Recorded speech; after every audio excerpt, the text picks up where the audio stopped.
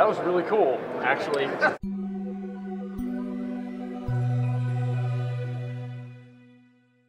My name is Robert Griffin, and we are currently at the Office of Naval Research Science and Technology Expo.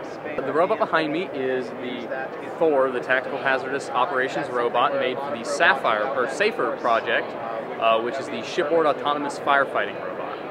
We are about to be building Escher, which is going to be a, an improvement and an extension of all of the technology we've used on Thor.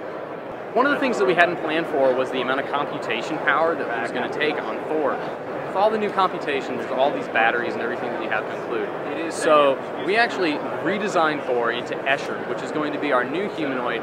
We're starting to build him now. We're taking all the technology that we developed in the design of Thor, our custom series elastic, elastic actuators, our custom control techniques, and custom planning. And we're going to implement it on this new robot that's more capable. All autonomous, untethered, uh, wireless communications, everything that's required for the DRC.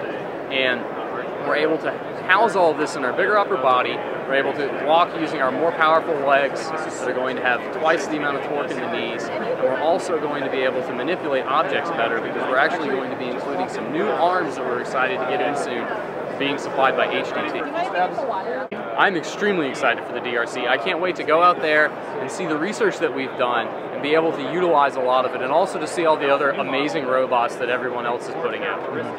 Escher is a big risk, uh, but we're confident that we can make it walk and get all our testing done in time. That's our biggest concern as a lab, and we're but we know that we're going to have to put in a lot of long hours, but we're pretty excited to get to do it.